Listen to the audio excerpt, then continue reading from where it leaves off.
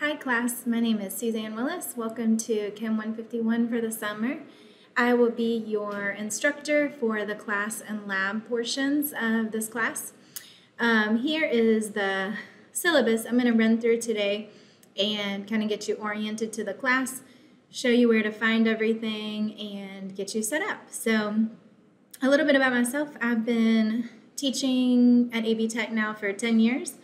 And prior to that, I taught at UNCA some and high school.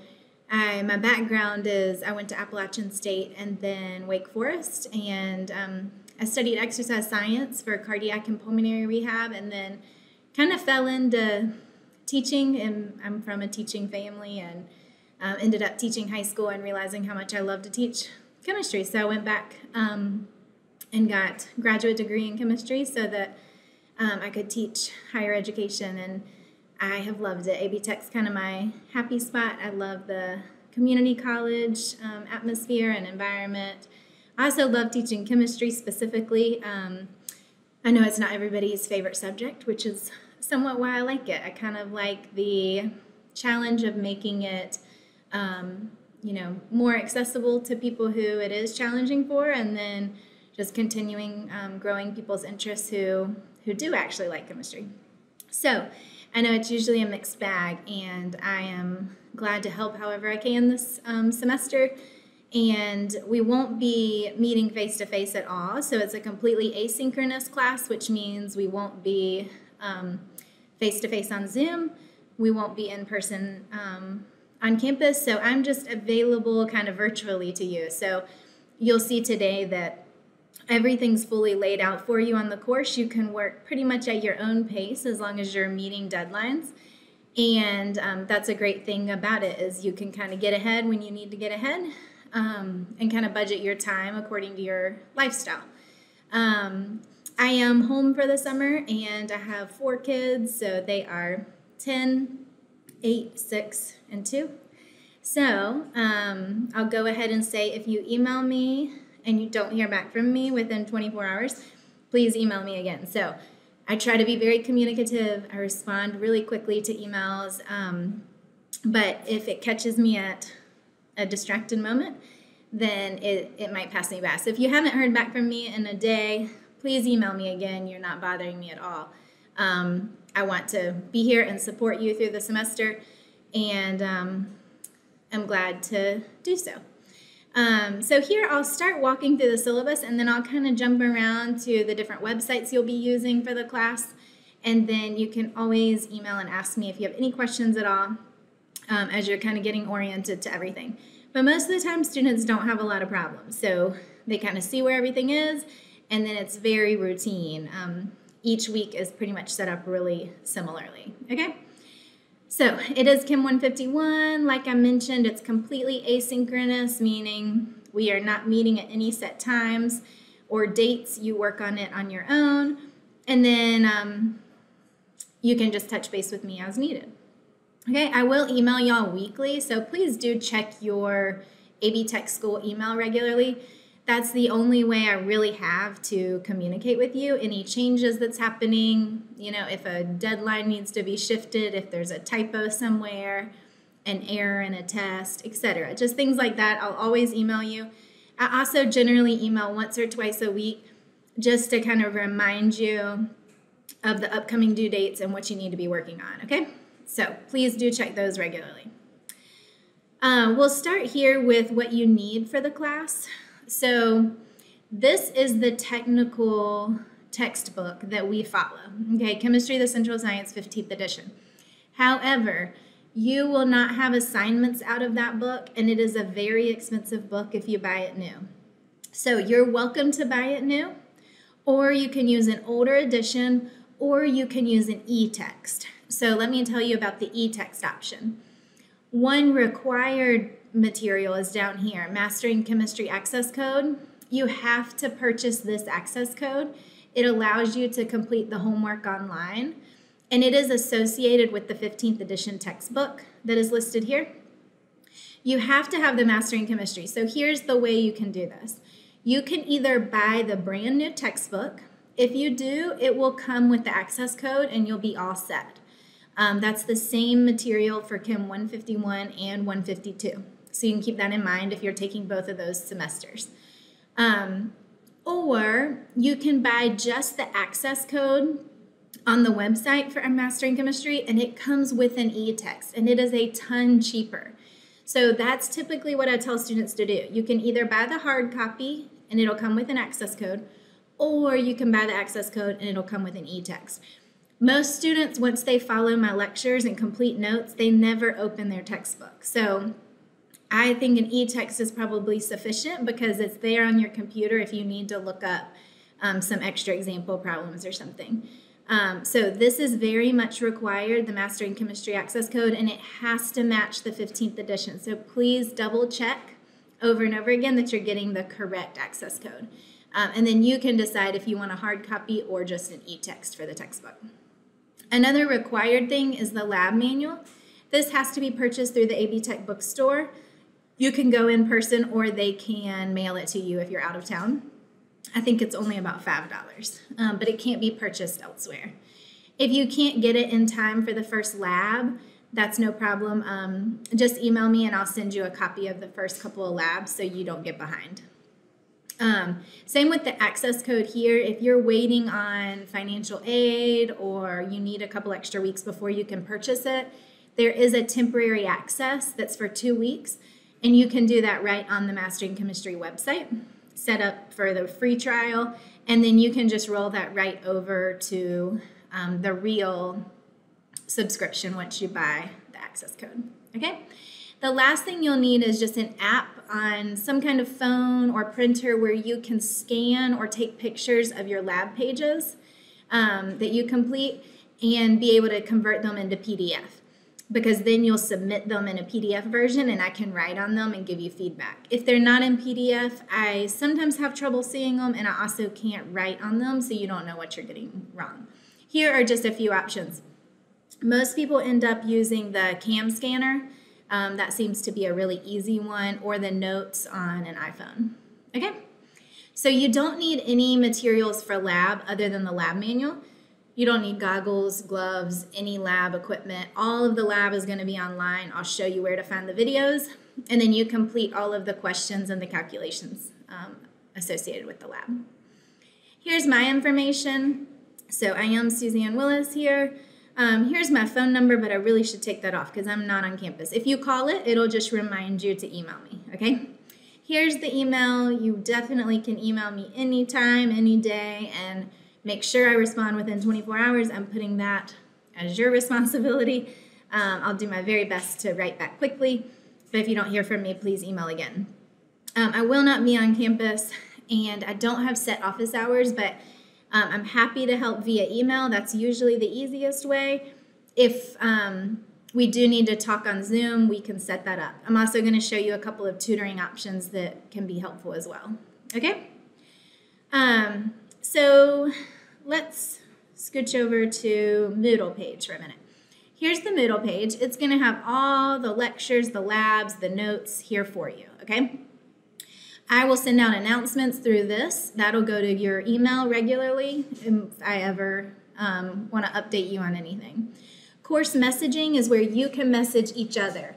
If you want to ask people, hey, did you figure out, you know, how to do this. You know, obviously you shouldn't be maybe talking about a test question. Um, but if there's a question on a lecture that you're like, I just, this one's not making sense, or is anyone interested in, in studying together, etc., that's your contact to other people. So course messaging is there for you.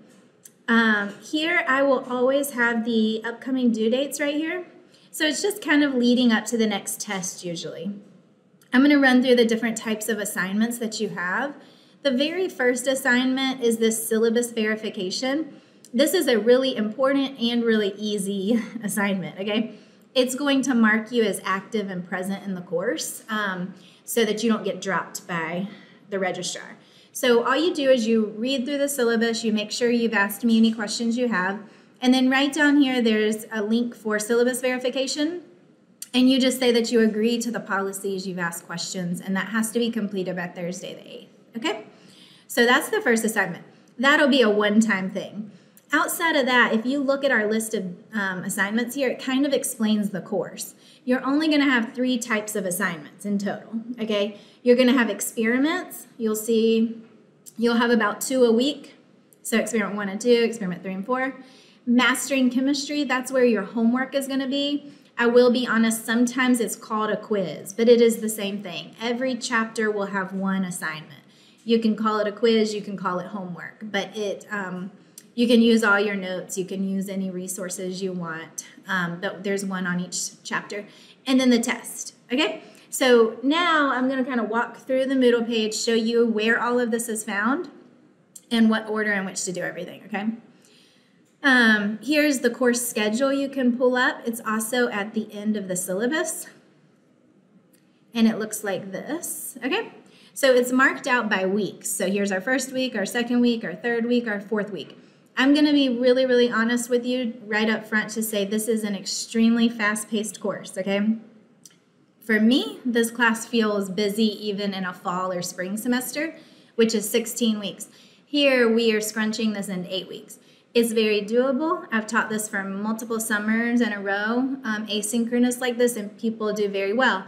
But I will say it takes a lot of um, time. So you would generally be on campus with me for six hours of lecture every week if we were in person, and then two labs. So just be aware that that's what is going to demand from you probably is several hours of lectures every week, several hours of labs and homeworks every week, okay? Um, you are able to shift this as needed, but I've kind of given you a, a layout so that you kind of have a timeline to not get behind. Um, so each week it'll tell you what lectures to listen to. I'll show you where to find those in a minute. What labs to complete. I'll show you where to find those in a minute. And then what mastering chemistry you need to work on and when the next test is. Okay, those are kind of the three things it'll tell you every week. So let me hop over to Moodle and show you how to work the Moodle page. At the top, there's just equation sheets, periodic tables, extra things you might want. Okay, right here are the lecture links. So you're gonna click here, Willis Live Videos Recorded. Ignore all due dates because this was a live course that I taught a few semesters ago. And so it's going to feel very much like a seated class, which is really good. So it helps students, I think, a lot. Um, but I'll talk about due dates that do not um, pertain to you. Okay, so just ignore it when I say a date. Here are the chapter one lectures, one, two, three, and four. I try to make them, you know, somewhat of a normal class setting so then you can take a break and do the next one, take a break and do the next one. What I'm doing in these videos is I'm going through what are called guided notes. And you'll see that I've already broken this down. Like in the first week, you should watch these. In the second week, you should watch these. If you know you're going to be out of town this third week or have a really busy work week, then go ahead and scooch those up. You have freedom with that to budget your own time. So please do so so that at the end or at any time, really, you're not feeling super um, tight with your schedule. So everything is already there, ready to go you'll see these guided notes filled in over here. Um, and that's just the notes that I took during the lecture. Let me show you where to find these guided notes. So there's lectures. I'm going to scroll down and you're going to see each chapter show up. I'll come back to all of that. Okay, each chapter has a big list of materials. To be honest, a lot of it is not mine. My material starts with what's called guided notes and below, okay? If you like a PowerPoint, go for it. It's up there, but I don't use it. So if you open up these guided notes, if you have an access to a printer, that would be the best thing you can do. Is print the blank guided notes when you're watching the video, write in the notes as I write in because that's how my classes are structured in person and it's also how they're structured online. So if you can write as I write, you're going to feel much more engaged with the material and it's going to make a lot more um, it's going to make better use of your time so you're not just sitting there listening to me talk about atoms and wah wah and think, you know, this is boring and I'm not sure I'm going to remember any of this. If you're writing it with me, you'll feel more engaged like it's a normal class and it'll stick in your brain better, okay? So I definitely recommend printing these. If you can't print, that's totally fine. Just have out paper and kind of write the outline as we go. So you'll notice this is all of chapter one. So every chapter on Moodle has a guided notes that are blank and then those that are filled in. Then you'll notice there's some extra practice problems with answer keys. Those are never graded. Those are just, hey, if you want some extra practice for that chapter, there you go. It's right there. You'll notice chapter two, the very much same. Chapter two guided notes. Print them, have them for your lectures, fill them in, and then there's extra practice if you want it. Chapter three, guided notes, extra practice, okay? So that's how every chapter is set up on there. Okay, so now I have covered lectures. So you know what to do for lectures. You find them right here on Moodle. They're laid out by chapter, they're laid out by week. You click right there for lectures and you go through the guided notes, okay? For labs, the link for labs is right here. So when you click on this, up will come all the labs for the whole semester. So once again, you could do them as soon as you get to that material and lecture. They are generally associated with the lecture. So remember how the schedule looked like this. I'll show you again. These experiments are somewhat based on the lecture for that week. So I would always recommend getting through that chapter lecture before trying to attempt the lab. Okay, there's a few that don't match perfectly, but that's generally how the course is set up. So the labs will make a lot more sense after you complete the lecture videos listed, okay? So here what you'll do is you'll pull up a lab link and it'll look like this. So this is experiment two, which is a really typical lab. You'll have your lab manual that you purchased at the AB Tech bookstore.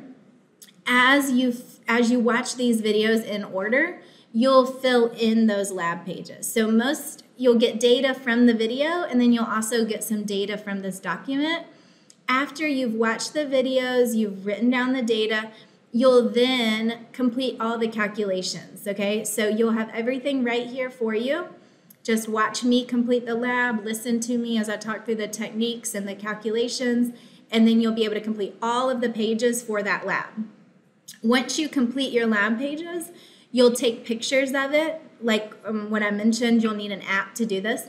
You'll take pictures, you'll convert it to PDF, and then let me hop to Moodle. Right below the link to all the lab stuff is each um, submission link. So once you have experiment one finished or experiment two finished, you'll click on there and it'll allow you to add your PDF and then I can grade it online then. You're welcome to turn these in early. Um, I will likely not grade them until close to the due date just because I like to grade them all in bulk just to be more consistent. So don't think I haven't seen it. Um, I'll get to it um, right around that due date, okay? So you'll see that is the case for all of the labs, okay? So you'll listen to my videos, grab the data from there, and then um, submit them right there. For labs, um, as far as late credit goes, I typically, I will um, accept labs up to two days late for 10 points off each day. If you are in the hospital, if you are, you know, in a car accident, if blah blah blah. If it is a reasonable um, situation and it's not happening every time, please email me if there's a week where you're like, this has happened and I cannot do this lab right now. Is there any way I could turn it in a couple days late?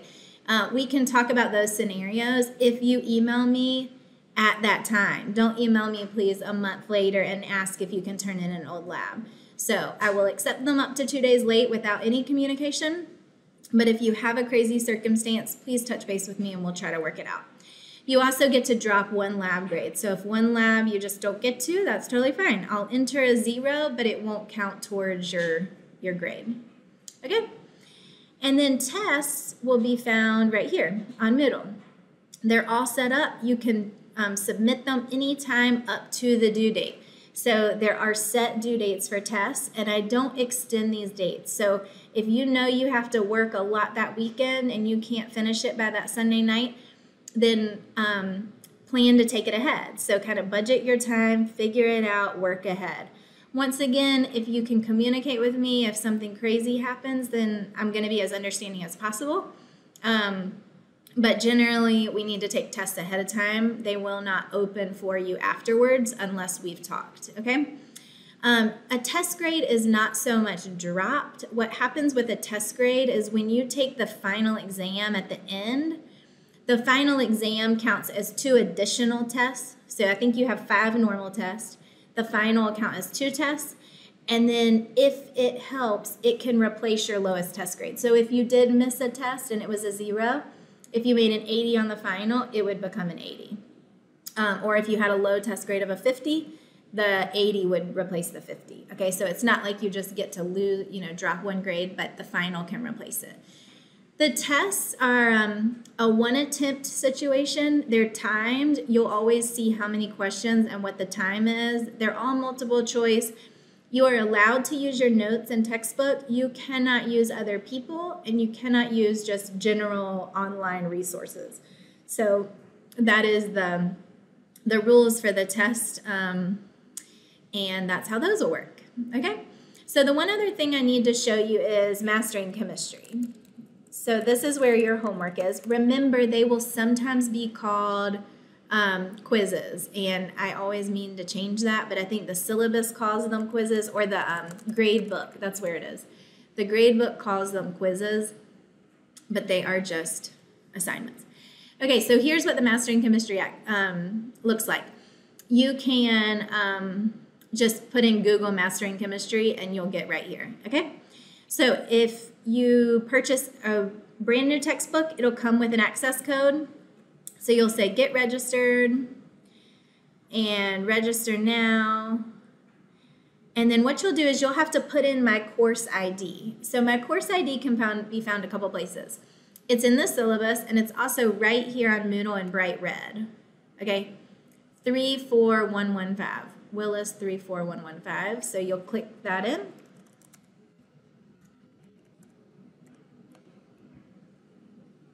Okay, it's not accepting at the moment because the class hasn't started. But you'll put that in and it'll open up my course. And then you'll either put the access code that came with your brand new textbook or you'll purchase it right there. If you purchase it through Mastering Chemistry, it'll come with all the assignments and an e text. So you'll have an online version of the textbook. What it'll look like once you have an account is let me log in here and I'll show you exactly what you'll see.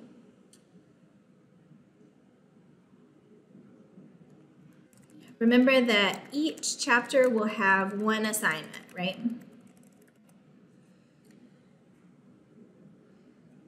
Okay, so here's our class. And you'll see all of our assignments for the whole class ready to go for you when I click on all assignments. Okay, they're in a little bit wonky order, but not for any good reason. So chapter one, two, three, four, five, six, seven, eight, nine. Um, and then you'll see three experiments. That's because three labs, instead of doing the lab in the lab manual, you'll actually complete an assignment here. That is written in your schedule um, on Moodle, and then I'll also remind you when that comes around. But you'll notice that there's three lab assignments, and then there's a chapter assignment for every one. These are not timed. You have two attempts on every single assignment, so please use them how you want to use them. Use all materials that you want to use. Um, you can open and close it as many times as you want to. This is meant for practice. Like, yes, it is a graded assignment, but it's not meant to feel like a quiz. It's not meant to feel like a test. Sometimes students do like to do the first attempt really slowly and with your notes, and then use the second attempt like a quiz. You can do that because it's only going to keep your highest grade. So you can attempt once, you can attempt twice, and it'll just keep the, the highest score. Okay? So those are all there. They do have set due dates. Um, one assignment is dropped from the homework. So one assignment goes away and um, you can complete these late. Uh, there is a late penalty every day that they're late, but they will always be accepted, and um, they'll never go down more than 50%. So you can always get some credit for these. I would rather you do them than not. Um, so labs can be turned in up to two days late. Mastering chemistry homework anytime late, but both have late penalties. So please try to keep up as much as you can for each. So I think I'm getting close to talking through everything. Let me run through um, the syllabus just to show you anything that I have missed. So you can go through all of this I've talked about um, the late policy. So here's a list of the labs. You'll see most are in your lab manual. And then there are three that are mastering chemistry. So you don't do the pages in your lab manual. Here's practice problems in your book. This is completely optional. Most people do not do them. I would recommend watch my lecture, do mastering chemistry, and use the problems I've put on Moodle myself. Here's information on how to set up your mastering chemistry. Here's our code again. You can also find it on Moodle.